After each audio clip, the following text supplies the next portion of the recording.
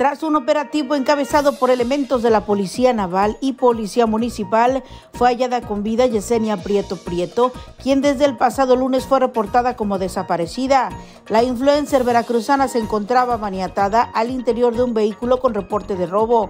En el informe se precisó que la unidad habría sido abandonada en el Infonavit Las Vegas del municipio de Boca del Río aunque en redes sociales circula un video en el que se observa a los padres de Viridiana Moreno Vázquez salir de la Dirección de Servicios Periciales tras el presunto hallazgo del cuerpo de su hija. Al momento la familia no ha confirmado que el cadáver desmembrado que se encontró pertenezca a ella. Familiares de la joven han compartido que las pruebas de ADN solo han coincidido en un 50%, por lo que están a la espera de más estudios genéticos que permitan confirmar o descartar su identidad. En el mensaje también se advierte que el caso ha tenido inconsistencias que tendrán que ser expuestas.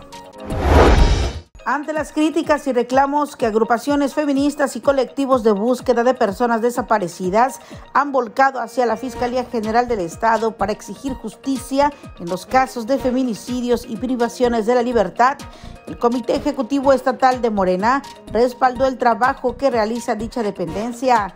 Sobre ese tema, el secretario de organización del partido en la entidad, Jair Ademar Domínguez Vázquez, aseguró que existen muestras importantes en materia de procuración de justicia acusó que en la pasada administración estatal, durante la gestión de Jorge N. al frente de la Fiscalía, la impartición de justicia era a modo y de manera ficticia con la creación de carpetas de investigación sin evidencias ni sustento.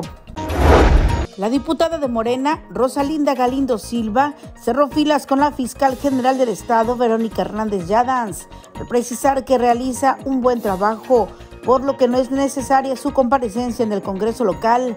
El problema de las desapariciones de personas se viene dando desde muchos años atrás, dijo con la presencia del gobernador Cuitlagua García Jiménez y Eric Cisneros Burgos, secretario de Gobierno del Estado, Verónica Hernández Yadans, quien es fiscal general del Estado, y del licenciado Hugo Gutiérrez Maldonado, encargado de la Secretaría de Seguridad Pública, y teniendo como anfitrión al alcalde Eric Domínguez Vázquez, se realizó la sesión de la Mesa de la Paz y la Reconstrucción Social en el municipio de Papantla. Aquí el gobierno estatal y federal se comprometió a reforzar con elementos policíacos de distintas corporaciones la seguridad en esa zona.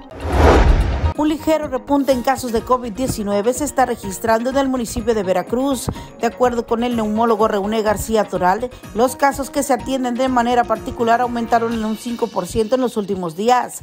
Comentó que en gran parte de esto se debe a que se han relajado las medidas preventivas, ya que una parte de la población no se ha vacunado, aunque refirió que las personas inmunizadas están pasando por un cuadro muy leve. El alcalde de Coatzacoalcos, Amado Cruz Malpica, consideró que debe existir coordinación de los tres niveles de gobierno para que se vean reflejados los beneficios del corredor interoceánico en más de 30 municipios veracruzanos. Al asistir a la reunión del Consejo Regional de Economía con la Secretaría de Desarrollo Económico y Portuaria, SEDECOP, puso como ejemplo el boom petrolero, en el que no existió un orden y desató otro tipo de problemática. Cruz Malpica reconoció que geográficamente Coatzacoalcos es privilegiada al ser el único istmo en América del Norte.